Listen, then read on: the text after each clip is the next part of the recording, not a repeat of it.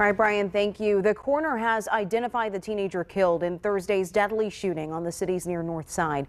Her name is Ranyia Grundy. Meanwhile, IMPD is still investigating the details around what happened. Fox 59's Courtney Crown joins us in the studio with more from police on this. Yeah, guys, what we know is that there were actually three people in that car, including Ranyia, at the time of the shooting. Police are still trying to figure out what exactly led to her death. IMPD responded to the 3100 block of North Guilford Avenue just before 2:30 yesterday afternoon for a person down in the road. They didn't find anyone there but saw a vehicle driving erratically away from the scene.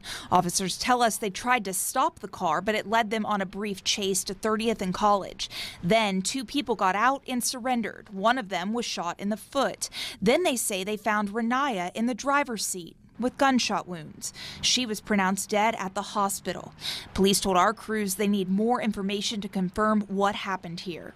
Trying to figure out exactly what led up to it is what's going to be crucial. You know, this is where we lean on our community. I know we lean on you guys a lot, but we need to work together as a team. Come on, Charlie.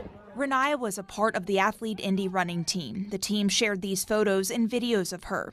They say she was a leader, competitive, and also supportive. Her coaches and teammates called her a light and a hard worker. This is a video the team shared of her talking after her first race with Athlete. I feel myself growing and being a better athlete every day. Like it's a lot of things that I never learned and never knew until I came to this team. Well, teens getting killed in Indy is on a disturbing upward trend. Coming up tonight at 5, we look at how many we've lost and the message advocates are sharing tonight. Aaliyah, Nick.